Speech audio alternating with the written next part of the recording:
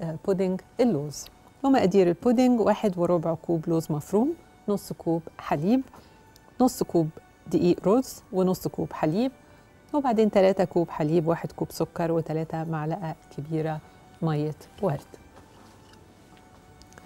هنحط التلاتة كوب حليب على النار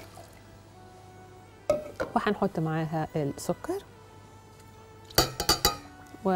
ومية الورد.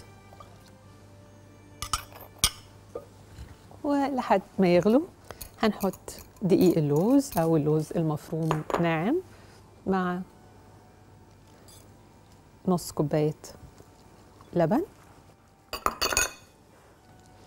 عشان نتأكد إن هو داب كويس. وبقى زي المعجون.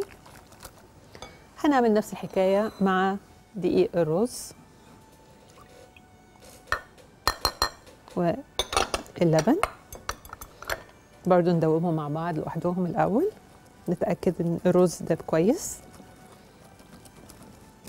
وبعدين نضيفه لخليط اللوز.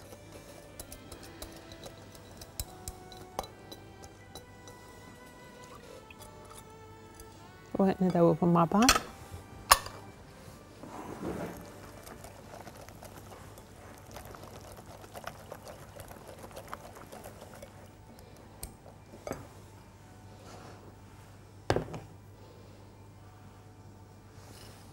اللبن لما يسخن نحط شوية هنا ونسيب الباقي يغلي.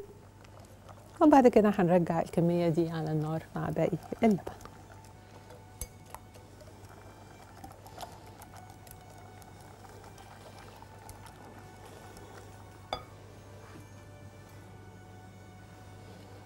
اللبن قرب يغلي خلاص ممكن نحط دول دلوقتي.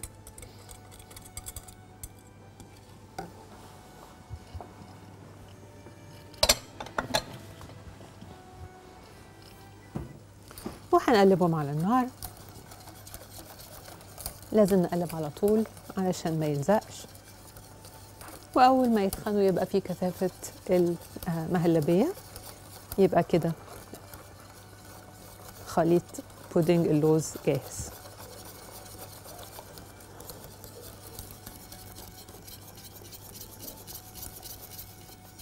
وزي ما إحنا شايفين الكثافة بتاعته بقت تقريبا زي كثافة المهلبية.